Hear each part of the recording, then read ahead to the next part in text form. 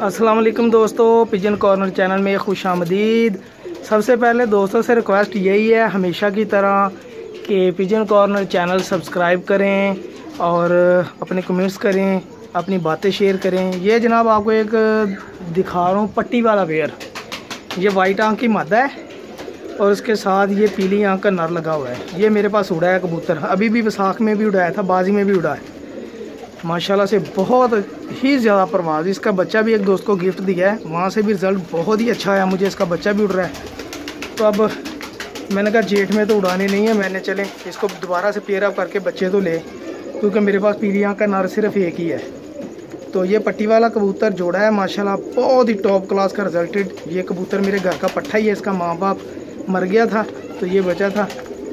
یہ دوستو، شوق کریں۔ پٹی والے جوڑے کا بھی پجن کارنر چینل میں پٹی والے جوڑے کا شوق کریں اور بتائیں کیسا ہے تو ماشاءاللہ سے میرا فیوریٹ جوڑا ہے پٹی والوں میں سے بہت ہی اچھا رزلٹ ہے ماشاءاللہ اس کے بچوں کا بھی اور خود یہ پٹھے کا بھی یہ جناب شوق کریں اور پجن کارنر چینل سبسکرائب کریں تاکہ دوستوں کے ساتھ اچھے اچھے پرندے شیئر کروں دوست بھی کریں چلیں کچھ دوست پردیس بیٹھے ہیں کچھ دور بیٹھے ہیں تو پرندے شیئر کرتے ہیں ایک دوسرے کا شوق ہو جاتا ہے تو کچھ پرندے یہ چھاتا ہے تو یہاں پہ آگے پکڑ بھی لیتا ہوں۔ تو پھر یہ میں یوٹیوب پہ لگا دیتا ہوں۔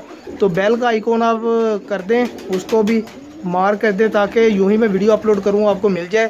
اس کا فائدہ یہ ہوگا، ہو سکتا ہے آپ کا کبوتر بھی موسم کی خرابی کی وجہ سے کہیں دور گر جاتا ہے تو وہ آپ کو مل جائے گا۔ میں یوٹیوب پہ لگاتا ہوں اور جو میرا سبسکرائبر ہوتا ہے، میں صرف کبوتر اس کو واپس کرتا ہوں۔